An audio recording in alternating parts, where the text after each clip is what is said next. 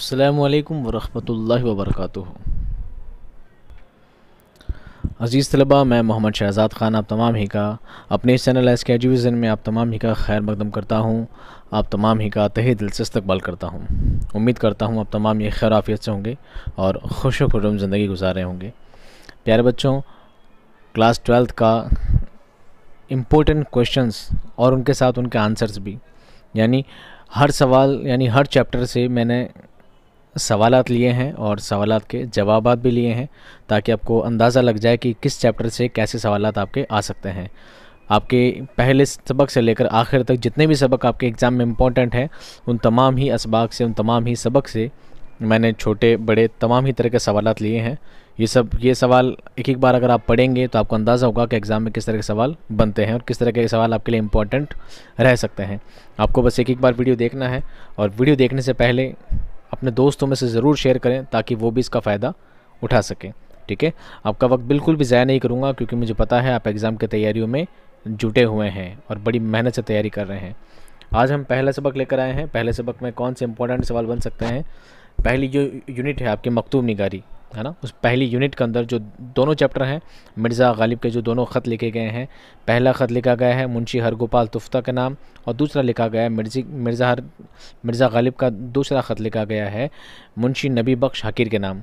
दोनों ही सबक से सवाल लिए गए हैं, ठीक है? बारहवीं जमात का ये पेपर है, जिसमें से I M P question important question में छाटे गए हैं। आइए सवाल की जानब चलते हैं। हाथों हाथ इसके जवाब भी देखते जाइएगा। मैं इसका लिंक कोशिश करूँगा कि इसमें डिस्क्रिप्शन में इसका लिंक मेंशन कर दूँ ताकि आप पीडीएफ आपको मुहैया हो जाए या पीडीएफ देने का और कोई बेहतर तरीका हो तो आप मुझे कमेंट सेक्शन में ज़रूर बताएँ। सवाल नंबर एक मारूजी सवाल ऑब्जेक्टिव क्वेश्चन में से क्या बेटर हो सकता है? देखिए, मिर्ज़ा गालिब कब और कहाँ पैदा हुए? अलिफ, सत्रह दहली में, बा, सत्रह सौ सतानवे आगरा में, जीम, सत्रह सौ अट्ठानवे, लखनऊ में या दाल उन्नीस सौ पचानवे आज़मगढ़ में। इसका सही जवाब है ब उन्नीस सौ सत्तानवे, उन्नीस सौ सत्तानवे आगरा। सवाल नंबर दो, दस्तंबो किताब के मुसनफ़ कौन है? अलिफ़, मिर्ज़ा हरगोपाल तफ्ता, ब मुंशी नबी बख्श शकीर, जीम, गालिब या दाल शिबली। इसका सही जवाब क्या है? जीम, मिर्ज़ा गालिब, इसका सही जवाब है। सवाल नंबर तीन, वो कौन खतूत निगार हैं, जिनके खतूत में अठारह सौ सत्तानवे ईस्वी के माहौल का ज़िक्र तफसील से मिलता है। यानी जवाब तो इसका दाल मिर्ज़ा गालिब है, लेकिन आपको अंदाज़ा लगाना है कि सवाल का पैटर्न क्या रह सकता है है ना? अलीफ अबुल कलाम आज़ाद बा जानिसर अख्तर, जीम हबीबुररहमान ख़ान शेरवानी और शेरवानी और दाल गालिब। सही जवाब है दाल मिर्ज़ा गालिब। सवाल नंबर चार, मकतूब के क्या मानी हैं? अलिफ ख़त, बी किताब जीम अखबार या दाल, कोई नहीं। इसका सही जवाब है अलिफ, ख़त। खतूत निगारी किस मकतूब कैसे कहते हैं? ख़त को कहते हैं। इस तरह मकतूब निगारी यानी खतूत निगारी। सवाल नंबर पाँच, दहली में गालिब करीब नौ बरस किन के मकान में रहे? अलिफ, हकीम मोहम्मद हसन खां, बा सिराजुद्दौला, जिम नबी बख्श शकीर या दाल खान आरज़ू? इसका सही जवाब है अलिफ, हकीम मोहम्मद हसन खां के घर में वो रहे थे। सवाल नंबर छः मस्कन के क्या मानी हैं? अलिफ, फरेब, बी, ब, घर, जिम, पालकी या दाल, जागीर? इसका सही जवाब है बा, घर। इसमें ऑब्जेक्टिव छोटे, बड़े, तमाम ही तरह के सवाल सवाल लिए हैं। पहले ऑब्जेक्टिव सवाल आएँगे, उसके बाद छोटे सवाल भी मैंने शामिल किए हैं, उसके बाद बड़े सवाल भी शामिल किए हैं। सातवां है मुंशी हरगोपाल तफ्ता और मुंशी नबी बख्श हकीर के नाम किसने ख़त लिखे? अलिफ, महदी उफ़ादी, बा अबुल कलाम आज़ाद, जीम, गालिब या दाल, शिबली। क्योंकि आपको अभी इसलिए अंदा आसान लग रहा है, सही जवाब है जीम दाल। जीम गालिब इसका सही जवाब है। अभी आपको आसान इसलिए लग रहा है क्योंकि आपको पता है कि कौन से चैप्टर के सवाल अभी चल रहे हैं तो ज़्यादातर के जवाब गालिब होंगे। लेकिन पेपर में आपको कोई चैप्टर मेंशन नहीं किया जाएगा तो इसलिए पेपर में आप कंफ्यूज हो सकते हैं। इसलिए अभी आपको लग रहा होगा, सर, कैसे इजी से सवाल बता रहे हैं ना? ऐसा कुछ नहीं है। जब आप सारे चैप्टर एक साथ आपसे सारे चैप्टर के सवाल पूछे जाएँगे, तब आप कन्फ्यूज़ ज़रूर हो सकते हैं। इसलिए आप सवालों को बगौर समझने की कोशिश करें। मैं पीडीएफ मुहैया कराऊँगा, आप उससे दो तीन बार और रिपीट करेंगे तो आपको तमाम सवाल अच्छी तरह से याद हो जाएँगे। आठवा सवाल है, मकतूब आलिया किसे कहते हैं? अलिफ़ जो ख़त लिखता है, बा जिसको ख़त लिखा जाए, जीम जो ख़त नहीं लिखता, या दाल उनमें से कोई नहीं। इसका सही जवाब है बा, जिसको ख़त लिखा जाए उसे क्या कहते हैं? मकतूब आलिया कहते हैं। सवाल नंबर नौ, वो कौन खतूत निगार हैं जिन्होंने मुरासले को मुकालमा बना दिया? अलिफ, रशीद अहमद सिद्दीकी बा मीरा जी जीम, मंटो या दाल, गालिब। सही जवाब है दाल, गालिब।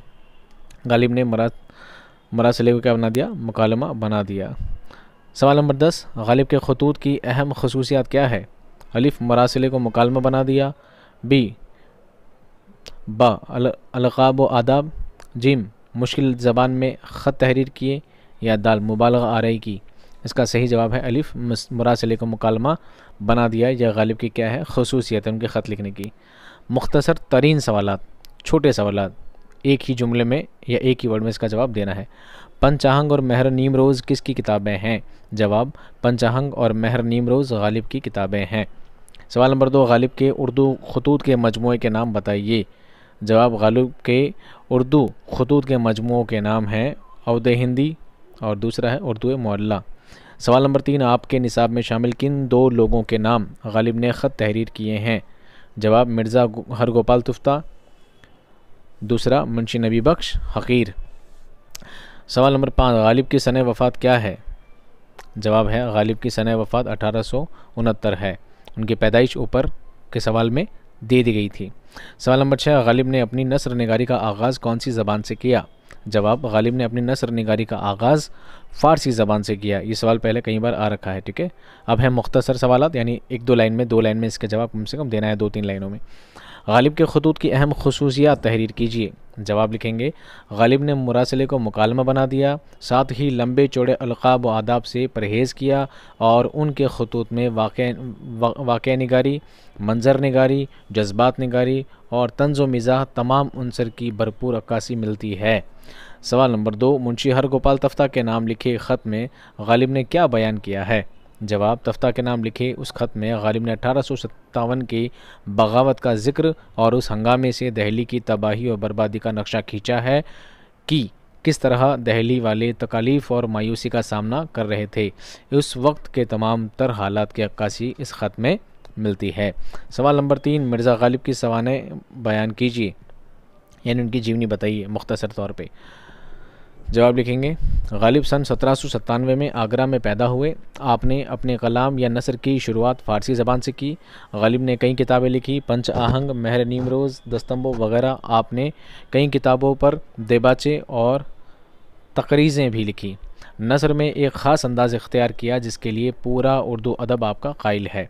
साफ़ और सादा ज़बान में खतूत नगारी की और अपना रास्ता अलग इख्तियार किया।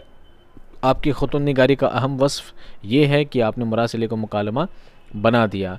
गालिब के खतूत में अठारह सौ सत्तावन ईस्वी के आसपास का माहौल पूरी तरह नुमाया होता है। आपके खतूत के दो मजमू मशहूर हैं उद हिंदी और उर्दू मल्ला उर्दू मल्ला गालिब ने जो असलूब इख्तियार किया था, उसकी नकल कोई भी खतूत निगार ना कर सका।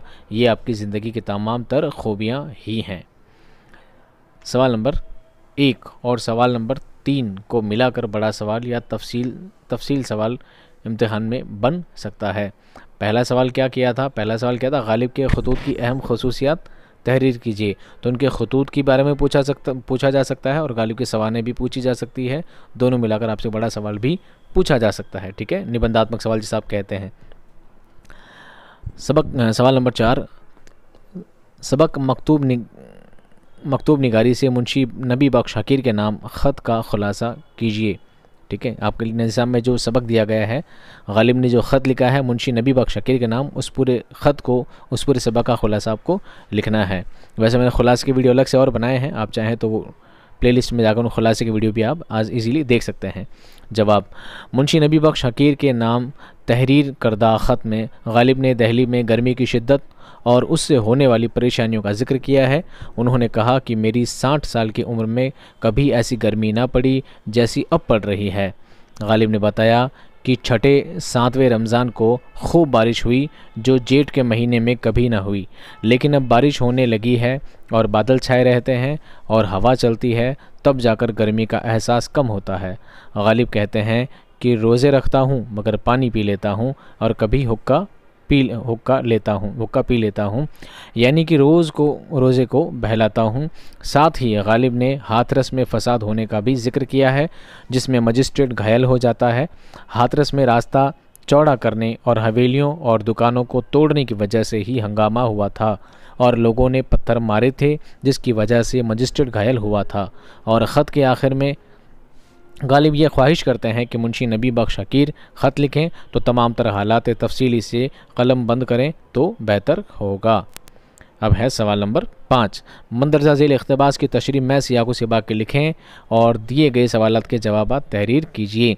मिर्ज़ा गालिब वाले चैप्टर से हमेशा अख्तबास आता रहा है और शायद आगे भी आएगा। तो जो इकतबास लिखा है, इसके आपको क्या करने हैं? सवाल के जवाब देने हैं। देखिए गर्मी का हाल क्या पूछते हो? इस साठ बरस में ये लू और ये धूप, ये तपिश नहीं देखी। छठे सातवें रमज़ान को मैं खूब बरसा। ऐसा मैं जैसे, ऐसा मैं जेठ के महीने में भी कभी नहीं देखा। अब मैं खुल गया है अब घिरा रहता है। हवा अगर चलती है तो गर्म नहीं होती और रुक जाती है तो क़यामत आ जाती है। धूप बहुत तेज़ है, रोज़ा रखता हूँ, मगर रोज़े को बहलाए रहता हूँ। कभी पानी पी लिया, कभी हुक्का पी लिया, कभी कोई टुकड़ा रोटी का खा लिया। यहाँ के लोग अजीब फहम और अजीब तुरफा रविश रखते हैं। मैं तो रोज़े, मैं तो रोज़ा बहलाता हूँ और ये साहब फरमाते हैं कि तो रोज़ा नहीं रखता। ये नहीं समझते कि रोज़ा रखना और चीज़ है और रोज़ा बहलाना और बात है। अब देखिए इसके सवाल। मंदरजा वाला अख्तबास किस सबक से माखूज है? क्योंकि सबक आपको पता ही है, पहला चैप्टर और दूसरे चैप्टर के बारे में बता रहा हूँ आपको। जवाब ये अख्तबास मिर्ज़ा गालिब के ख़त मुंशी नबी बख्श हकीर के नाम से, ख़त नाम से माखूज है। सवाल नंबर दो, ख़त के मुताबिक छठे सातवें रमज़ान को कौन सा वाक़ पेश आया है? आया था। जवाब, छठे सातवें रमज़ान को मैं खूब बरसा था, ऐसा मैं जेठ के महीने में कभी भी नहीं बरसा था।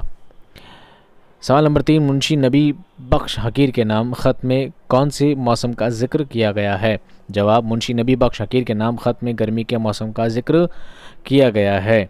सवाल नंबर चार अकतबास में आए अल्फाज के मानी तहरीर कीजिए। में यानी बारिश, तुरफ़ा यानी अनोखा, तपिश यानी गर्मी, लू यानी गर्मी के मौसम में चलने वाली गर्म हवा। सवाल नंबर पाँच अकतबास में शामिल अजीब फ़हम और तुरफा रविश किस के लिए इस्तेमाल हुआ है? जवाब, अजीब फ़हम और तुरफा रविश अल्फाज दहली शहर के बाशिंदों के लिए इस्तेमाल हुए हैं। उम्मीद करता हूँ ये सवाल आपको याद होंगे। अगर आपने चैप्टर को अच्छी तरह पढ़ा होगा, वीडियो को अच्छी तरह देखा होगा तो आपको तमाम सवाल अच्छी तरह से याद होंगे, है ना? और नहीं है याद तो अच्छी तैयारी कीजिए, कोशिश करते रहिए। इसके अलावा मैं इंपॉर्टेंट क्वेश्चंस के अलावा मॉडल पेपर के क्वेश्चंस और मॉडल पेपर में साथ में उनके आंसर्स के वीडियो भी बहुत जल्द लाने वाला हूँ आपके एग्ज़ाम की तैयारी के लिए। आपको कुछ नहीं करना है बस शेयर करना है चैनल को सब्सक्राइब करना है और अपने दोस्तों में ज़्यादा से ज़्यादा शेयर करना है ताकि मेरा हौसला बना रहे और मैं आपके लिए ऐसी ही बेहतर से बेहतर वीडियो लाता रहूँ। मिलता हूँ नेक्स्ट वीडियो में, तब तक खुश रहिए, आबाद रहिए, खुदा हाफिज़।